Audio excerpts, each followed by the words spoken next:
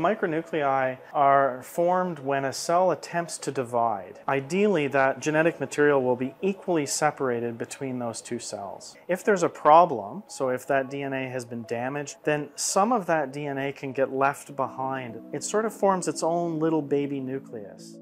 Micronuclei are the starting point for these inflammatory cascades that can affect the way patients respond to chemotherapeutics and to radiotherapy.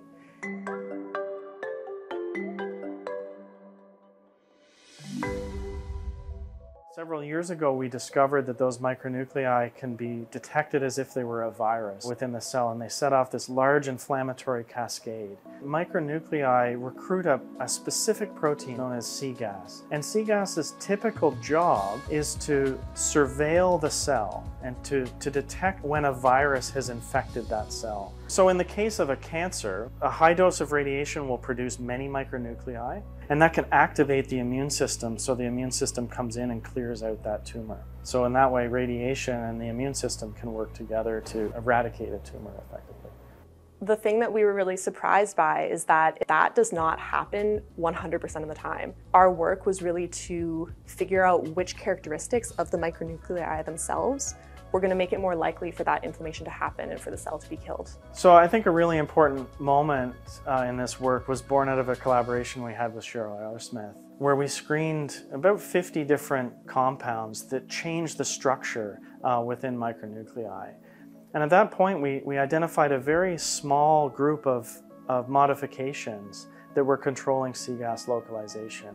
The thing that we were really surprised by is that it looks like these micronuclei have a history. Like the way that their DNA is packaged comes from the way that that DNA was packaged in the nucleus.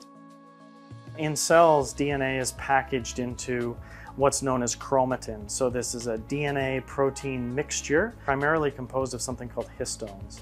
And histones have many, many different modifications that can occur on them that control almost everything that happens within a cell. And so depending on which modifications are on those histones, it determines whether or not cGAS will localize uh, to those micronuclei.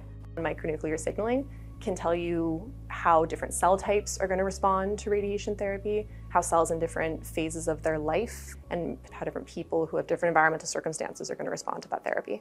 Many drugs entering the clinic now that are altering the structure of chromatin and the structure of DNA and potentially the structure of what's inside a micronucleus.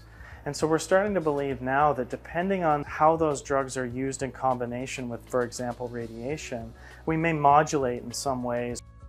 These micronuclei are sensed by the cell. And so combination drug therapies may either allow these inflammatory signatures to be elevated when we want it to be, or perhaps suppressed in situations where we no longer want those signals to be there.